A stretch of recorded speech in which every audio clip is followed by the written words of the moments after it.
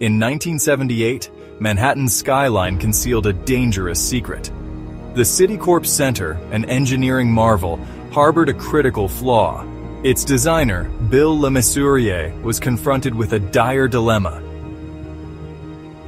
The flaw was discovered during a routine review of the building's structural integrity.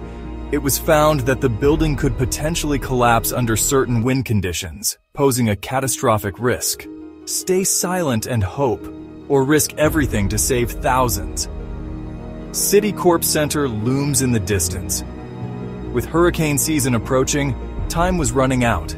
Bustling New York City street scene. Diverse New Yorkers, unaware of danger. LeMessurier reveals the problem to executives. He chose integrity over reputation. The decision was fraught with tension. Sparks fly during covert welding operation.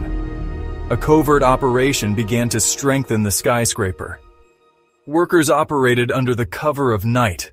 Workers secretly reinforced the skyscraper.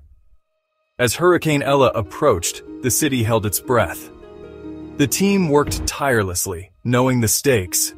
Hurricane Ella threatens the East Coast. The covert operation was a race against time. At the last moment, disaster was averted. A potential catastrophe was narrowly avoided thanks to quick thinking and decisive action. LeMessurier's ethical stand became a legend in engineering. His decision to come forward, despite the potential for professional embarrassment, set a new standard. The building was retrofitted with steel braces to ensure its stability. These reinforcements were crucial in preventing structural failure during high winds. This incident led to stricter building codes and a renewed focus on ethical responsibility. Engineers around the world took note, leading to significant changes in the industry.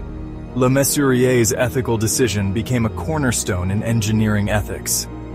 His actions are now studied in engineering courses as a prime example of professional integrity. The Citicorp Center stands as a testament to the importance of integrity in engineering. It remains a symbol of the critical role ethics play in the field.